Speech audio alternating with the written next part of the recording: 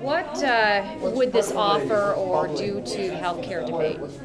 Well, since we already have almost half of Congress as lawyers, I think adding some new professions, uh, doctors would be great. Gee, if there were a couple of CPAs, that would be even better because you know we, I've, I've, heard rumors we have a federal budget deficit or debt.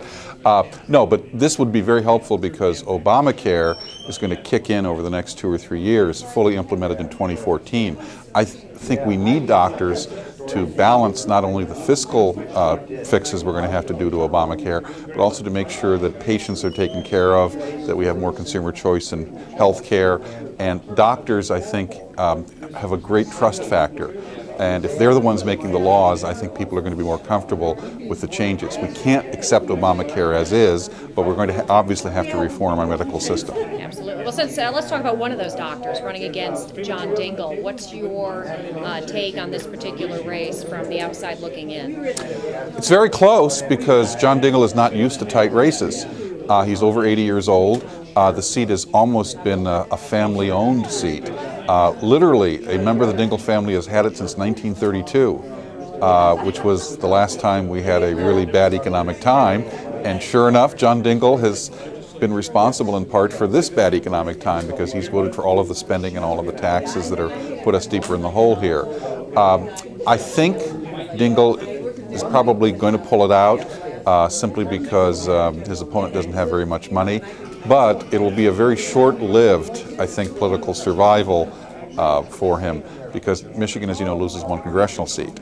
And I think John Dingell is going to be the one who's going to have that little eraser on the pencil come over his district and wipe it out. Well, talking about people who have held seat for a long time, and an older uh, gentleman, Dale Kildee, in uh, Michigan's 5th District, that is, uh, you were telling me, kind of interesting. There's no polling right. in the district. Voters are very angry. Uh, Michigan, as you know, has straight ticket voting, so some people are going to go into the polling booth and vote for the first time all Republicans simply because they're mad at the Democrats who are in power. Uh, Kildee hasn't had a tough race. On the other hand, he hasn't mounted a tough campaign on his own behalf for a long time. That district has no polling in it, so a very angry electorate could assert itself there. Okay, let's talk about in general. Um, a lot of people think that what happened in 1994 Republicans kind of swept in on this wave of voter anger, like you said, but a lot of people also feel that uh, the Republicans sort of capitulated a couple years later and everything just came to a screeching halt as far as Republican or conservative movement. If perchance a similar thing happens in uh, this year, do you see a similar thing happening, or what can we do to make well, sure that doesn't? You're right that the Republicans gradually lost steam after the Contract with America was passed. Um, the joke is that they came to Washington determined to drain the swamp, and they decided it made a wonderful hot tub instead. So there's always that danger of backsliding, but they're well aware that they were fired by the voters in 2006. They're also aware that the speed of politics and media has stepped up.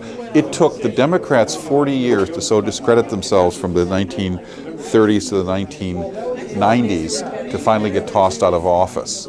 Uh, it took them 40 years took the Republicans only 12 years. Took the Democrats this time only four years. Notice how sh much shorter the time span is going? I predicted the Republicans don't follow through most of their promises. If they don't do what they say they're going to do, uh, this time it'll be four months before the voters turn on them, and they might get thrown out of office in 2012 again if if voters decide, you know, we didn't like we didn't like the change Obama brought, we didn't like the change we used to counteract Obama. Now we're going to try a new change.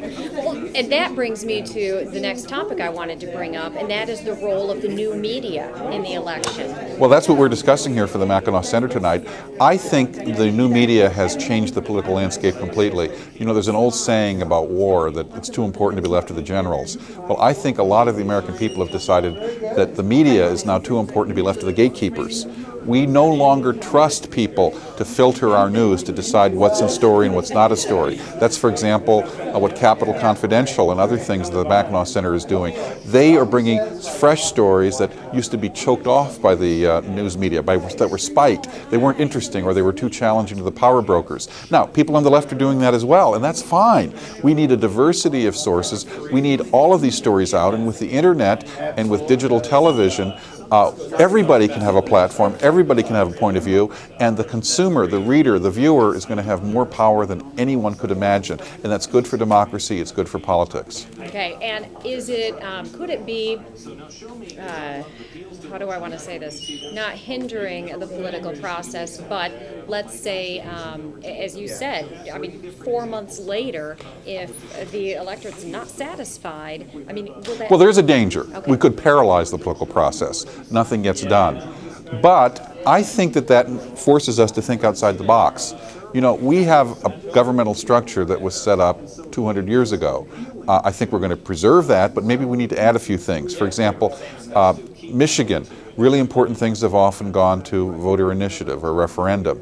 Uh, I think more use is going to be made of that if the legislature or the, uh, the local officials don't respond. Um, maybe there'll be more participatory democracy. Uh, maybe members of Congress will finally realize they have to have constant town hall meetings, constant uh, educational process. In other words, it used to be that members of Congress got elected and they would start running for office again immediately. Maybe they have to get elected and they have to start educating and interacting and communicating and learning from their constituents for the whole two-year period, rather than just come to them every two years and say, I want your vote now. So maybe we need a much broader, more participatory politics, and maybe all of these currents are forcing us into that. Okay. Well, very quickly, going back to um, what's going on with Congress, if perchance uh, there is a GOP majority in Congress, I mean, it will likely be very narrow. Will anything get done? Well, what the American people want is to say, stop first. Uh, there's a lot that's happened the last two years they didn't like or they thought was rammed down their throats without proper consultation. So they're just saying stop. That will be progress for many people. Going beyond that, I think we're setting up what the 2012 election is going to look like. Now, Barack Obama has a choice. There are two models that he can follow after the Republicans make major gains in Congress. In 1978, Jimmy Carter, a previous Democratic president, said, Well, I just had a bad midterm election. I'm just going to keep doing what I'm doing. That didn't work out so well for him. Uh, Bill Clinton, on the other hand, ever flexible, uh, a man of, shall we say, no particular deep principles, but a survival instinct, he moved to the center. He hired Dick Morris, the most amoral political consultant in America.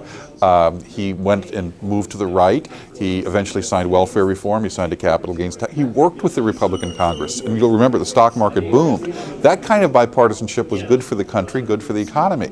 So Barack Obama has two models he can look at.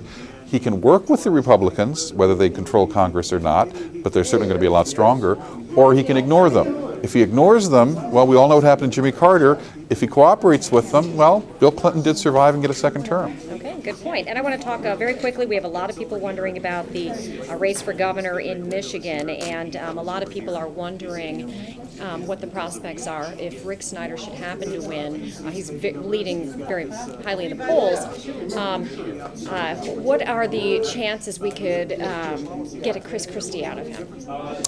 Anything is possible because he has no public record. Um, 50 years ago, uh, Michigan took a chance on a businessman who really didn't have a public record. That was George Romney. Those are different times. Uh, these are different times. But apparently, in a time of crisis, we're once again turning to a businessman to try to settle our affairs. Um, I think that Mr. Snyder wants to make government more efficient. I think he's got all kinds of ways to bring business practices to government, but the times demand more than that. As Chris Christie has shown in New Jersey, you're going to have to take bold action. Uh, whether or not he has a legislature he can work with is going to be one issue. Will the Republicans take both houses of the state legislature? But he has got to move quickly because he's going to have to both learn how to do the job, uh, because it's different from running a gateway, and he's also going to have to use that narrow window of time where he can get maximum public attention and support and force through the changes that he wants. Now, I don't think he's been particularly forthcoming with what kind of changes he wants, but uh, neither was Chris Christie, and Chris Christie turned out to be a pleasant surprise. Let's hope the same thing happens here in Michigan with Snyder. No, I, just to be fair, in case Bernero wins. Who? Virg Well, I've, I've debated Virg. Okay. Um, yes, you could walk through his deepest thoughts and not get your ankles wet. Um, he, uh, he, he's the um, Carl Paladino of Michigan, as far as I'm concerned, a wild man. Uh, I don't know what was in the water when the voters of Lansing elected a mayor, but something was. Uh, I think I, I normally don't make categorical statements, Kathy, but I will make a categorical statement. Okay. Uh, Virg, you're going to be stuck with your day job.